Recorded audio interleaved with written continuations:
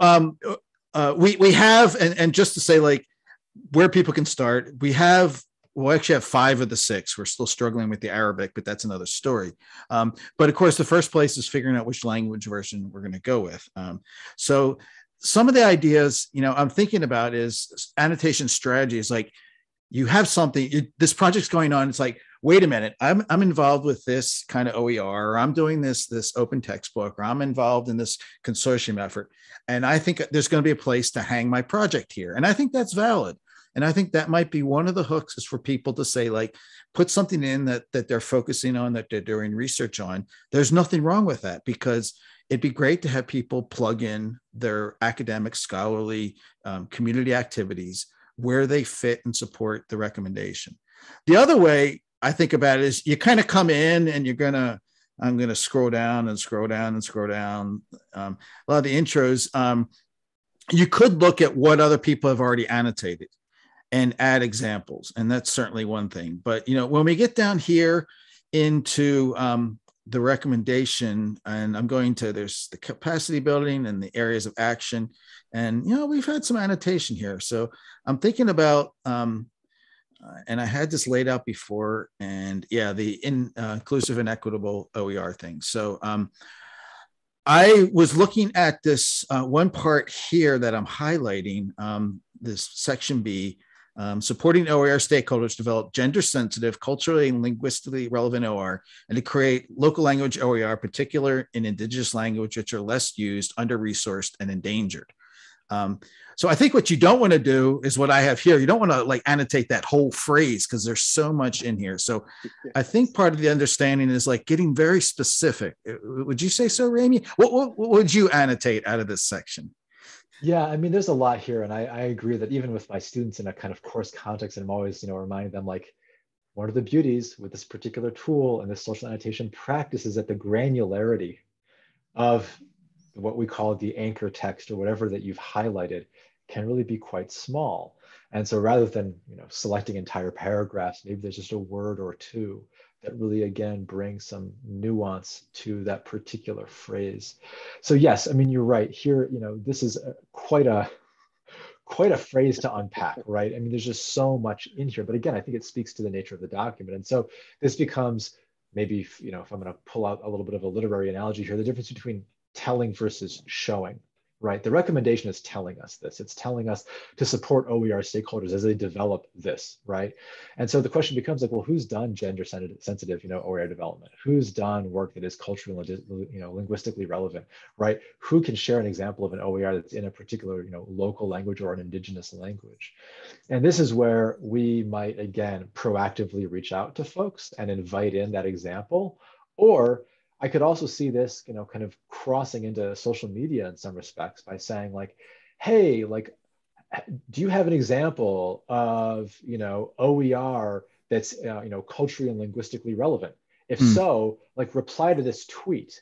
Now, without getting, you know, belaboring the technical side of this here, if someone who is an open educational, you know, advocate or practitioner shares an example, let's say on Twitter, well, that tweet could be linked to and your job, Alan, or somebody else in this case, could actually be to curate that and to say, mm-hmm. you know, highlight just the words culturally and linguistically relevant OER and say, a great example was shared by so and so. Here's their tweet.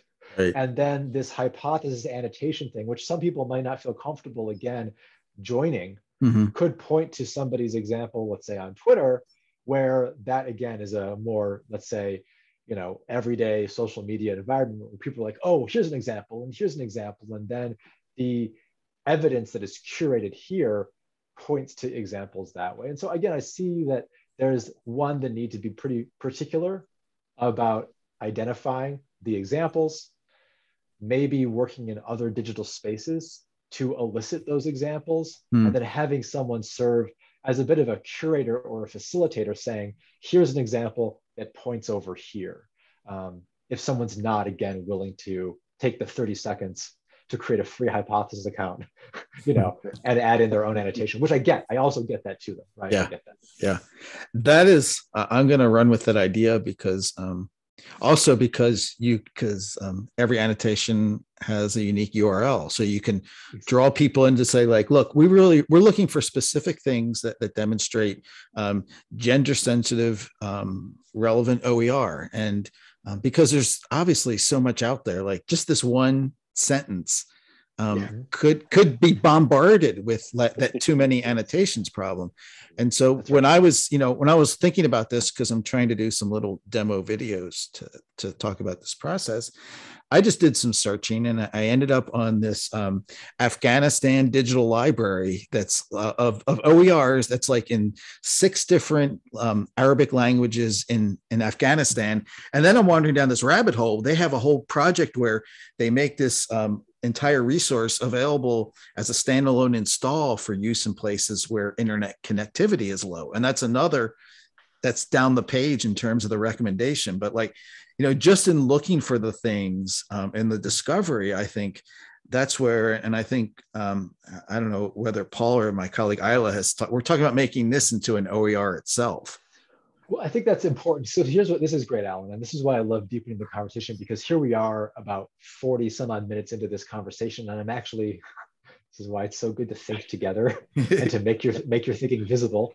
As I'm realizing that maybe the purpose of this annotated version needs to be very clearly um, framed for those people who you see as contributing even just to the annotations. And so again, I've been thinking about this to some degree as kind of like a conversation space. And I think I've said that in a variety of different ways, even in this discussion, is like, well, here's a place where advocates and practitioners of open education could kind of show up. It's almost like, let's say, a happy hour or like a brunch, and people are getting together and they're going to just kind of riff and talk about mm-hmm. open education in all of its various manifestations using the recommendation as that source text. Now, that's a little bit more free form. It actually might lack some of the examples that you're looking to elicit, and it may create, actually, to Paul's point earlier, just actually a lot of noise that, although maybe inspiring or maybe kind of very collegial, might not actually provide some of the evidence, some of the examples that you really wish to highlight. And so, a very different purpose of this annotated version of the recommendation may be to actually be a space that curates. And so, the recommendation is less about discussing it or even discussing how wonderful open education is or how problematic it can be or how just challenging it is to really do it, whatever it is, but rather to say if we need examples of OER that is, in this case, gender sensitive. That's the phrasing here. I want to help curate other people's examples of that and really use this actually as a hub that curates examples and evidence and maybe some of the complexities associated with this. And that's a very different purpose for annotating the document. And it's a very different reason why other readers would want to visit this and then access the layer of annotations. Other readers might want to access this not as then a future participant in the conversation, but they might want to access the annotated version because they're looking for more information. They're actually looking for a kind of central hub of some of this to really, again, show and not just tell. Hmm. So maybe uh, I'm going to ask Paul maybe to speak to because we are going. We're not. We're, we're there's a reason we're doing all this um, you know, it's kind of a, a year long effort um, or more. Um, but in terms of, um, you know, um, actually, you know, making sure that this recommendation becomes something that we that's implemented, that we see in the world, that actually has action. Um, and so, um, you know, parts of it do, but we're, we're trying to, to go towards something that that can synthesize some meaning and direction out of this. But um, I'm trying to like put some words out there, um, but maybe we do need to be more clear as to where we're going with this. Yeah, I really, and I really like that idea about it being that there could be a curatorial purpose behind the invitation to engage in the annotation activity. One observation I have is that you know there are five distinct action areas in this recommendation and when even if we looked at in response to our call for proposals, which our conference this year was focused on the UNESCO OER recommendation, you see lots of proposals coming in around capacity building, let's say, but hardly any coming in around sustainability. And so maybe curation can happen in the area of capacity building, but maybe we need discussion and uh, a kind of different motivation for the action area that pertains to sustainability because there may not be a lot to curate currently. And so so it's sort of um, potentially a segmentation of the recommendation into different categories